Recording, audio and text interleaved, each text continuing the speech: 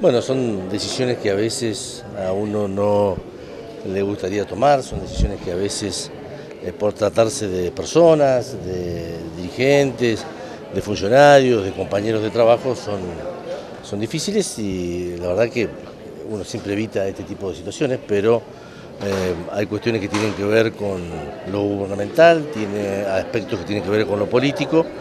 y a veces las necesidades eh, que involucran al conjunto,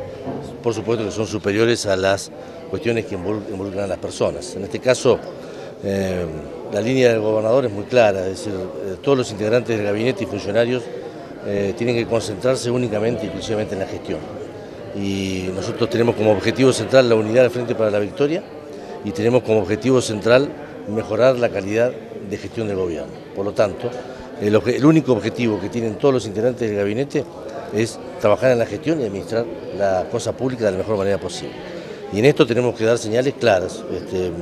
eh, eh, funcionario, ministro o secretario de Estado o quien fuera que utiliza su espacio dentro del gobierno provincial para generar este, actividades eh, partidarias internas, este, me parece que no tiene lugar en el gobierno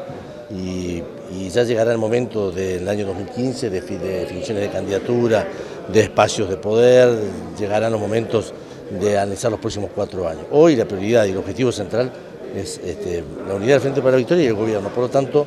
este, esta decisión que no hubiésemos querido tomar se marca dentro de esta lógica,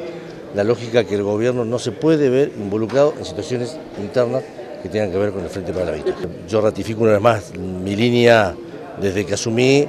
las dificultades, los temas del Frente para la Victoria los discuto en el ámbito de los dirigentes y no en el ámbito público.